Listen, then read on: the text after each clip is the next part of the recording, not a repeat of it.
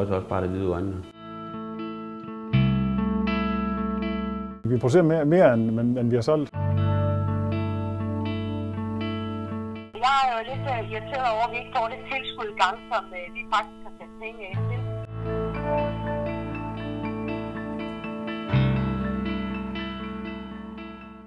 For 29 år siden fik 55-årige Finn Ure fra Odense konstateret sklerose. Den startede med mine øjne.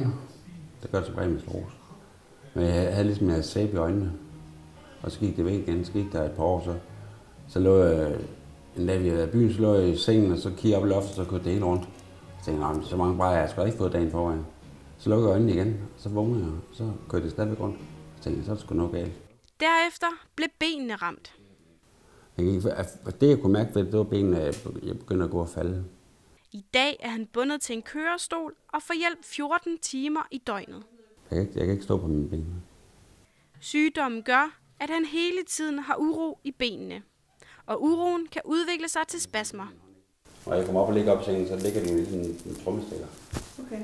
Øh, snart jeg vender og drejer mig, så kører benene bare frem tilbage. For at holde styr på uro og spasmer, bliver tobakken her skiftet ud med cannabis 4-5 aftener om ugen ved sengetid. Snart fordi, når jeg så ryger, så slapper alle musklerne totalt af. Så er jeg bare ligesom sådan en klud. Så kan jeg sove. Finn bruger flere former for cannabis, både lovlige og ulovlige produkter. Ja, det er Sativex mundspray, som man også kun kan få igennem sygehusene. Marinol, som er små piller, som også kun kan få igennem sygehus. Og så has, som jeg så selv skaffer. Ved både Marinol og Sativex kan der gå helt op til to timer, inden han mærker effekten. Fordelen ved at ryge has, det her det hjælper her nu. Og når jeg har en spasme, så skulle jeg gerne have noget til at slippe her nu. Politikerne indførte en forsøgsordning med medicinsk cannabis 1. januar. Derfor kan patienter som Finn nu købe lovlig cannabis på recept. Cangros er lige nu den eneste leverandør af produkter til forsøgsordningen.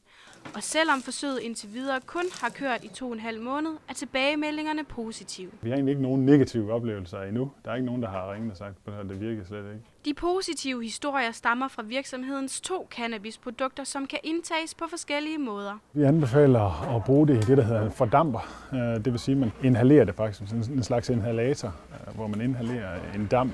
Man kan også lave det som en, en øh, urteting. Men det kræver, at du tilhører en bestemt patientgruppe, at du får tilladelse fra din læge og hiver den helt store pengepunkt frem, for at kunne hente Kangros produkter på apoteket. En pakke med 5 gram koster 788 kroner. Doseringen fastsættes af lægen. En kop te indeholder 0,2 gram medicinsk cannabis. Drikker man en kop te om dagen, koster det altså 948 kroner i måneden. Drikker man to, er prisen 1896. Og det er især en af årsagerne til, at Finn ikke køber produkterne. Jo, men det koster også bare det hvide øjnene. Så det er prisen, det Ja, det er det.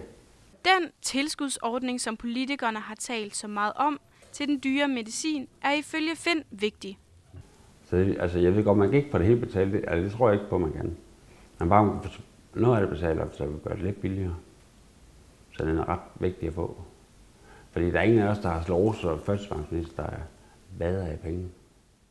Og det manglende tilskud til medicin har også konsekvenser for Cangros. Med det niveau, der sælges medicinsk cannabis her i januar og februar, så, så taber vi penge. Øh, så, så det er ikke nogen lukrativ forretning. Selvom politikerne længe har haft tilskudsordningen på den politiske dagsorden, er der endnu ikke besluttet noget.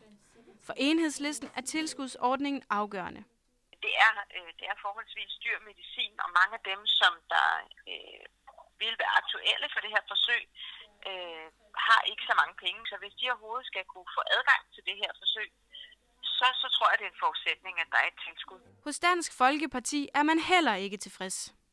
Jeg er jo lidt uh, irriteret over, at vi ikke får det tilskud i gang, som uh, vi faktisk har sat penge af til, som vi har valgt at sige, at vi vil prioritere med nogle penge. Og øh, der har jeg sagt til ministeren, at hvis ikke de snart får noget på bordet, så må jeg jo øh, lave et forslag og søge støtte hos de røde partier. I Liberal Alliance håber man, at tilskudsordningen snart bliver en realitet. Vi arbejder internt i regeringen på at få det igennem, og øh, vi håber og tror på, at det lykkes meget snart. Politikerne er altså enige om, at der skal være en tilskudsordning. Men hvad en sådan ordning skal indeholde, diskuteres stadig. Imens køber Finn stadig sin cannabis på det illegale marked. Så vil jeg blive med købe det sort, jo. Det kan blive, jeg skal have medicinen. For at Finn ønsker at blive en del af ordningen, skal prisen være markant billigere, end den er nu. 300-400 kroner om måneden, mere vil jeg ikke i hvert fald. Mere vil jeg ikke give. Altså, hvis det hjælper nogen, så vil man selvfølgelig godt give noget mere. Men øh, det kan man ikke garantere. Hvornår patienterne kan få tilskud til medicinen, ved politikerne endnu ikke. Det kan jeg ikke eftersom at vi ikke øh, er blevet helt enige endnu, og der ikke ligger en aftale endnu. Vi er så langt, så jeg håber og tror, at vi øh, kommer igennem med det. Øh, men, men jeg kan ikke vide ved 100% for, at aftalen er der. Selvom tilskudsordningen ikke er på plads, er der optimisme hos Kangros. Vi er også selv ved at kvalificere andre typer af produkter, udover dem, der er på markedet i dag. Vi arbejder også med, med at kunne øh, kvalificere nogle dråber og nogle øh, kapsler, som vi også kan få på markedet. Samme optimisme til ordningen er der dog ikke hos Finn i Odense. Min sygdom bliver jo ikke bedre, jo. Jeg ved godt, hvad vej den, er- hvor den ender henne.